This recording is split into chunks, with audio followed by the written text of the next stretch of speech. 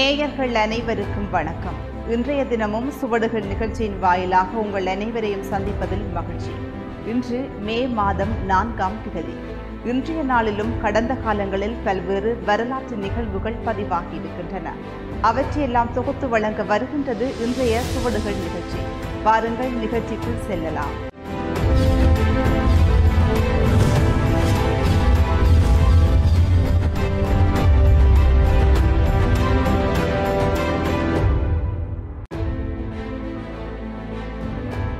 ஆயிரத்து எழுநூற்று தொன்னூற்று ஒன்பதாம் ஆண்டு நான்காம் ஆங்கிலேய மைசூர் போர். ஸ்ரீரங்கப்பட்டினம் முற்றுகை. திப்பு சுல்தான் கொல்லப்பட்டதை அடுத்து ஸ்ரீரங்கப்பட்டினம் பிரித்தானியரின் கீழ் வந்தது. ஸ்ரீரங்கப்பட்டினம் முற்றுகை என்பது ஆங்கிலேயர்களுக்கு மைசூர் அரசுக்கும் இடையில் நடந்த நான்காவது ஆங்கிலேய மைசூர் போரின் இறுதி போராகும்.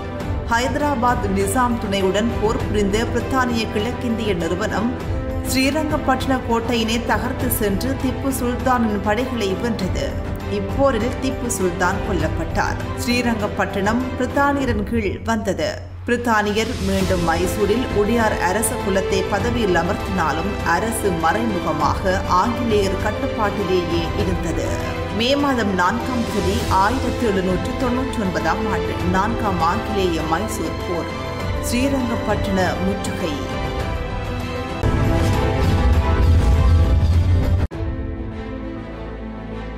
ஆயிரத்து எண்ணூற்று பதினான்காம் ஆண்டு. ஸ்பெயின் என்று அழைக்கப்படும் எசுப்பானியா முழுமையான முடியாட்சிக்கு மாறியது. ஸ்பெயின் ஐரோப்பிய கண்டத்தின் தென்மேற்கு பகுதியில் உள்ள ஐபீரிய தீபகற்பத்தில் அமைந்துள்ள இறமையுள்ள ஒரு நாடு. ஐரோப்பிய ஒன்றியத்தின் உறுப்பு நாடாகவும் இது உள்ளது. இதன் தலைநகரம் மேட்ரிட். இந்த நாட்டினரின் மொழி எசுப்பானிய மொழி. இது உலகின் இரண்டாவது அதிகம் பேசப்படும் மொழியாகும். இந்நாட்டில் ஐரோப்பிய யூரோ நாணயம் பொது பயன்பாட்டில் உள்ளது. பார்சிலோனா இங்குள்ள மற்றொரு பெரிய நகரமாகும். இதன் அமைவிடம் காரணமாக வரலாற்று முந்தைய காலம் முதல் இப்பகுதி பல வெளி செல்வாக்குகளுக்கு உட்பட்டு வந்துள்ளது. அரகானின் அரசர் இரண்டாம் பேட்டினண்டுக்கும் ஆஸ்டாயினின் அரசி முதலாம் இசபெல்லாவுக்கும் இடையே நடந்த திருமணத்தையும் ஆயிரத்து நானூற்று தொன்னூற்றி இரண்டாம் ஆண்டில் ஐபீரிய தீபகற்பம் மீள கைப்பற்றப்பட்டதையும் தொடர்ந்து பதினைந்தாம் நூற்றாண்டில் ஸ்பெயின் ஒரு ஒன்றிணைந்த நாடாக உருவானது. நவீன காலத்தில் இது ஒரு உலக பேரரசாக உருவாகி உலகின் பல பகுதிகளிலும் தனது செல்வாக்கு பகுதிகளை உருவாக்கியது. இதனால் உலகில் எசப்பானிய மொழியை பேசுபவர்களின் எண்ணிக்கை இன்று ஏறத்தாழ ஐநூறு மில்லியனாக உள்ளது. ஸ்பெயின் அரசியல் சட்ட முடியாட்சியின் கீழ் அமைந்ததும் நாடாளுமன்ற முறையில் அமைந்ததுமான ஒரு குடியரசு நாடு. வளர்ச்சியடைந்த நாடுகளில் ஒன்றான ஸ்பெயின் மொத்த உள்நாட்டு உற்பத்தி அளவில் அடிப்படையில் உலகின் பன்னிரண்டாவது பெரிய நாடாக விளங்குகிறது. இரண்டாயிரத்தி ஐந்தாம் ஆண்டு கணக்கீட்டின்படி உலகின் பத்தாவது கூடிய வாழ்க்கை தர குறியீட்டு எண்ணை கொண்ட இது உயர்ந்த வாழ்க்கை தரம் உடைய ஒரு நாடு. ஸ்பெயின் ஐக்கிய நாடுகள் அவை நோட்டோ பொருளாதார ஒத்துழைப்புக்கும் வளர்ச்சிக்குமான அமைப்பு உலக வணிக அமைப்பு ஆகியவற்றினது உறுப்பு நாடாகவும் உள்ளது.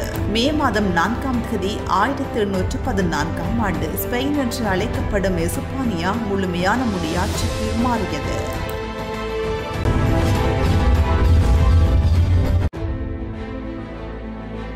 ஆயிரத்து எண்ணூற்று எண்பத்தி ஆறாம் ஆண்டு ஹேம் மார்க்கெட் படுகொலை. சிகாகோவில் இடம்பெற்ற தொழிலாளர் கழகத்தில் போலீசார் மீது எறியப்பட்ட குண்டுவீச்சுக்கு பின் இடம்பெற்ற போலீசாரின் துப்பாக்கிச் சூட்டில் எட்டு பேர் கொல்லப்பட்டனர். அறுபது பேர் காயமடைந்தனர்.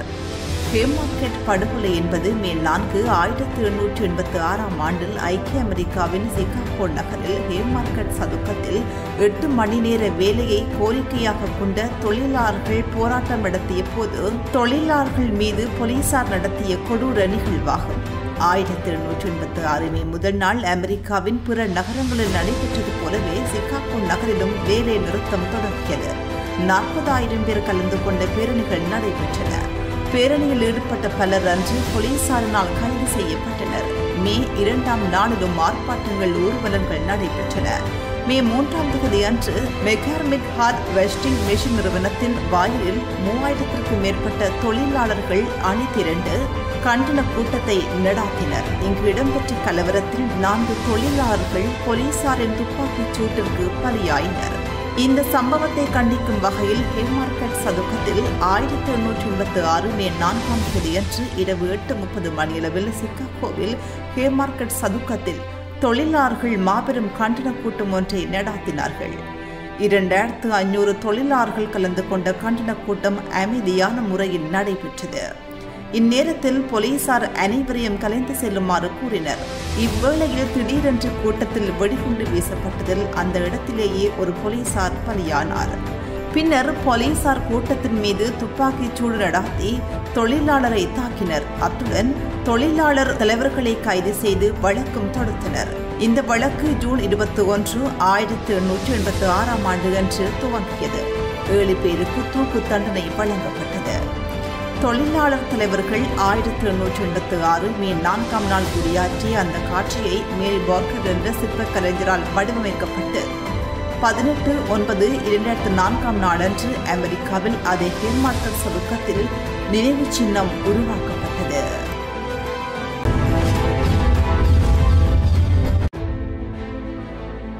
ஆயிரத்து தொள்ளாயிரத்து நான்காம் ஆண்டு பனாமா கால்வாய் கட்டுமானம் ஐக்கிய அமெரிக்காவினால் ஆரம்பிக்கப்பட்டது. பனாமா கால்வாய் என்பது பசிபிக் பெருங்கடலையும் அட்லாண்டிக் பெருங்கடலையும் அமெரிக்க கண்டங்களிடையே இணைக்கும் செயற்கை கால்வாய் ஆகும். இது எழுபத்தி ஏழு கிலோமீட்டர் நீளமுள்ள நீர்வழியாகும். இது பனாமாவின் இஸ்தமுவில் பகுதியில் வெட்டப்பட்டுள்ளது. மேலும் இக்கால்வாய் சர்வதேச கடல்வழி வர்க்கத்திற்கான முக்கிய வழியாக உள்ளது. இக்கால்வாயில் இருந்த கப்பல்கள் ஹார்டின் ஏரியை அடையும் வரை கால்வாயின் ஒவ்வொரு முனையிலும் நீரை அடைத்து நீர்மட்டத்தை கூட்ட குறைக்க கதவணை அமைப்புகள் உள்ளன. கால்வாயை கடல் மட்டத்தின் ஆழத்துக்கு மிக ஆழமாக அகழ்வதை தவிர்க்கும் விதமாக கடல் மட்டத்திற்கு இருபத்தி ஆறு மீட்டர் உயரத்திற்கு மேலே ஒரு செயற்கை ஏரி அமைக்கப்பட்டுள்ளது. இதிலுள்ள கதவணைகள் முப்பத்து மூன்று தசம் ஐந்து மீட்டர் அகலம் கொண்டவையாக உள்ளன. மூன்றாவது அகன்ற நேர்பாதையானது அகன்ற கதவணைகளுடன் செப்டம்பர் இரண்டாயிரத்து ஏழு மற்றும் மே இரண்டாயிரத்து பதினாறாம் ஆண்டுக்கு இடைப்பட்ட காலகட்டத்தில் கட்டப்பட்டது.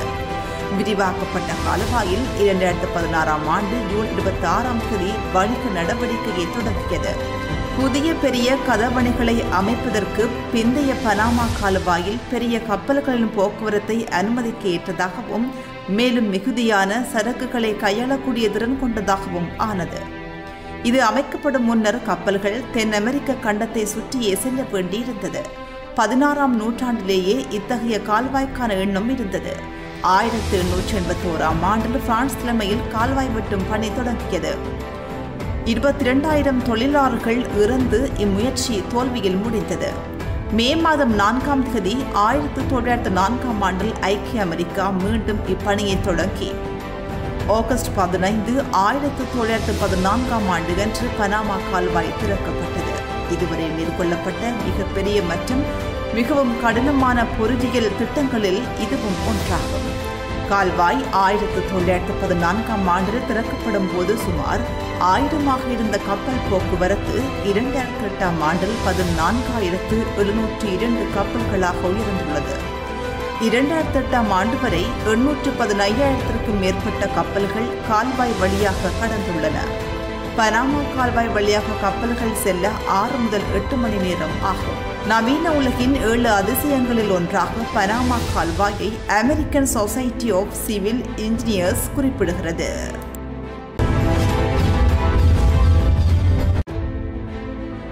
ஆயிரத்து தொள்ளாயிரத்து ஐம்பத்து மூன்றாம் ஆண்டு ஹெர்னெஸ்ட் ஹெமிங்வே கிழவனும் கடலும் என்ற நாவலுக்காக புலிட்சர் பரிசு பெற்றார். ஹேர்னஸ்ட் ஹெமிங்வே ஓர் அமெரிக்க எழுத்தாளர் ஆவார் இவரது தனித்துவமான எழுத்து நடை மிக குறைந்த சொற்பிரயோகம் இருபதாம் நூற்றாண்டின் புனைகதை இலக்கியத்தில் பெரிதும் தாக்கத்தை ஏற்படுத்தியது. அதேபோல ஹெமிங்வேயின் சிலிர்ப்பூட்டக்கூடிய சாகச வாழ்வும் பெரிதும் தாக்கத்தை ஏற்படுத்தியது. ஹெமிங்வேயின் பெரும்பாலான இலக்கிய பங்களிப்புகள் ஆயிரத்தி தொள்ளாயிரத்தி இருபதாம் ஆண்டுகளின் மத்தியில் இருந்து ஆயிரத்தி தொள்ளாயிரத்தி ஐம்பதுகளின் மத்தி வரை எழுதப்பட்டதாகும். ஹெமிங்வேயின் கதாபாத்திரங்களின் தனித்துவமான கட்டமைப்பு வாசகர்களால் பெரிதும் விரும்பப்பட்டதே அவரது புனைவுகளின் வெற்றிக்கு காரணம். ஹெமிங்வேயின் பெரும்பாலான எழுத்துக்கள் அமெரிக்க இலக்கிய பரப்பில் செவ்விலக்கிய தகுதி பெற்றவையாகும். ஏழு நாவல்கள் ஆறு சிறுகதை தொகுப்புகளும் இரண்டு புனைவற்ற புத்தகங்களையும் தனது வாழ்நாளில் ஹெமிங்வே பதிப்பித்துள்ளார். மேலும் அவரது மறைவுக்கு பிறகு மூன்று புதினங்களும் நான்கு சிறுகதை தொகுப்புகளும் மூன்று புனைவற்ற புத்தகங்களும் பிரசுரிக்கப்பட்டன கடலும் கிழவனும் நாவலுக்காக ஹெமிங்வேயிற்கு ஆயிரத்தி தொள்ளாயிரத்தி ஐம்பத்தி மூன்றாம் ஆண்டு மே நான்காம் தேதியன்று புலிட்சர் பரிசும் ஆயிரத்தி தொள்ளாயிரத்தி ஐம்பத்தி நான்காம் ஆண்டில் இலக்கியத்துக்கான நோபல் பரிசும் வழங்கப்பட்டது. இவரது கடலும் கிழவனும் நாவலுக்கு தமிழில் ஒன்றுக்கு மேற்பட்ட மொழிபெயர்ப்புகள் வெளிவந்துள்ளமை குறிப்பிடத்தக்கதாகும்.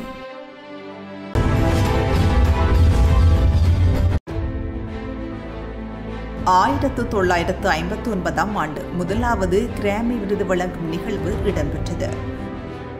கிராமி விருது அமெரிக்காவில் இசை கலைஞர்களுக்கு வழங்கப்படும் மிகவும் முக்கிய விருதுகளில் ஒன்றாகும். இந்த விருதுகளை தேசிய ஒலிப்பிடிப்பு கலைகள் மற்றும் அறிவியல் அகாடமி வழங்குகின்றது. முதலாவது வருடாந்த கிராமி விருதுகள் வழங்கும் நிகழ்வு மே மாதம் நான்காம் தேதி ஆயிரத்தி தொள்ளாயிரத்தி ஐம்பத்தி ஒன்பதாம் ஆண்டு அன்று நடைபெற்றது.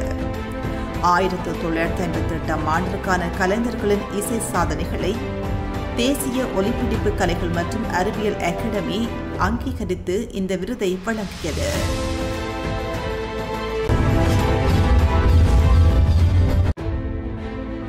ஆயிரத்து தொள்ளாயிரத்து எழுபத்தி மூன்றாம் ஆண்டு சிகாகோவின் சியர்ஸ் கோபுரம் உலகின் அதி உயர் கட்டிடமாக அறிவிக்கப்பட்டது.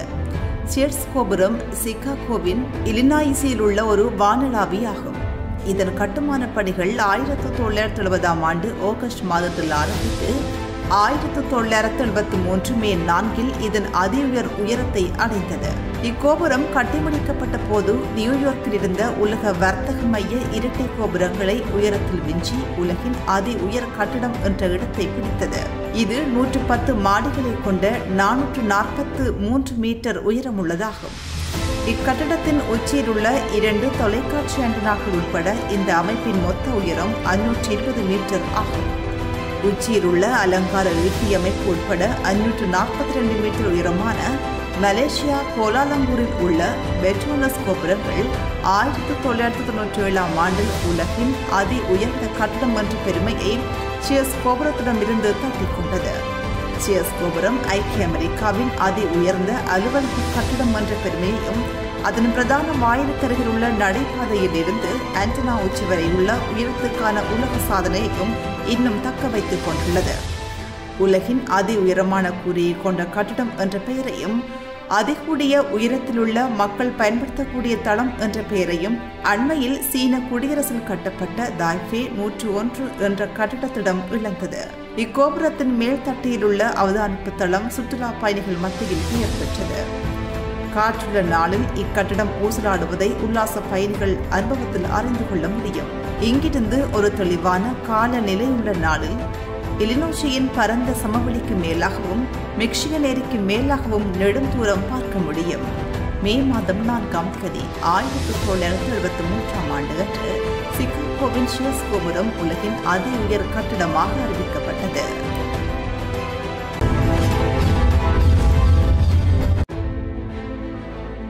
ஆயிரத்து தொள்ளாயிரத்து எழுபத்தி ஒன்பதாம் ஆண்டு மார்கரெட் டாட்சர் ஐக்கிய ராஜ்யத்தின் முதலாவது பெண் பிரதமரானார். மார்கரெட் ஹில்டா டாட்சர் பிரித்தானியாவின் முதல் மற்றும் ஒரே பெண் பிரதமர் ஆவார். பிரித்தானிய கன்சர்வேட்டிவ் கட்சியின் அரசியல்வாதியான இவர் மூன்று முறை தொடர்ச்சியாக பிரதமராக தெரிவு செய்யப்பட்டவர். இருபதாம் நூற்றாண்டில் நீண்ட காலம் பொறுப்பாற்றிய பிரித்தானிய பிரதமராக ஆயிரத்தி தொள்ளாயிரத்தி எழுபத்தி ஒன்பதாம் ஆண்டு முதல் ஆயிரத்தி தொள்ளாயிரத்தி தொண்ணூறாம் ஆண்டு வரை தொடர்ச்சியாக பணியாற்றினார். ஆயிரத்தி தொள்ளாயிரத்தி எழுபத்தி ஐந்தாம் ஆண்டு முதல் ஆயிரத்தி தொள்ளாயிரத்தி தொண்ணூறாம் ஆண்டு வரை தமது கன்சர்வேட்டிவ் கட்சியின் தலைவராக பணியாற்றியுள்ளார். சோவியத் இதழாளர் ஒருவரால் கேட்சரின் சோசலிச வெறுப்பு மற்றும் தொழிற்சங்கங்கள் மீதான அவரின் அடக்குமுறைகள் காரணமாக பிரித்தானியாவின் இரும்பு பெண்மணி என அழைக்கப்பட்டார். அதுவே அவரது விடாநிலை அரசியலையும் தலைமை பண்பையும் குறிக்கின்ற அடிப்பெயராக பிரித்தானிய வலதுசாரிகளினாலும் அழைக்கப்படலாயிற்று. இவரால் செயலாக்கப்பட்ட கொள்கைகள் டாட்சரியம் என அழைக்கப்படலாயிற்று.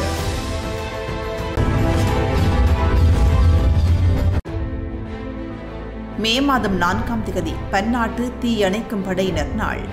பன்னாட்டு தீயணைக்கும் படையினர் நாள் மே நான்காம் நாளன்று ஆண்டுதோறும் நினைவு கூறப்பட்டு வருகிறது.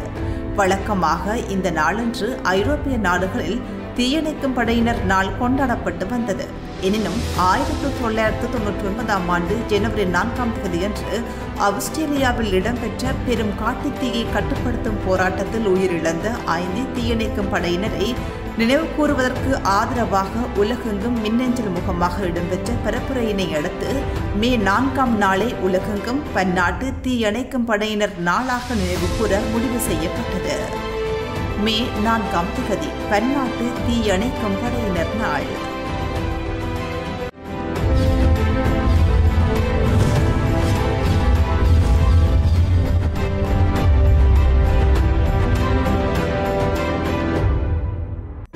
இத்துடன் இன்றைய சுவடுகள் நிகழ்ச்சி நிறைவடைகின்றது. மீண்டும் நாளைய தினம் உங்கள் அனைவரையும் சந்திக்கும் வரை விடைபெறும் நான் தாட்சாயினி செல்லத்துறை நன்றி நேயர்களே.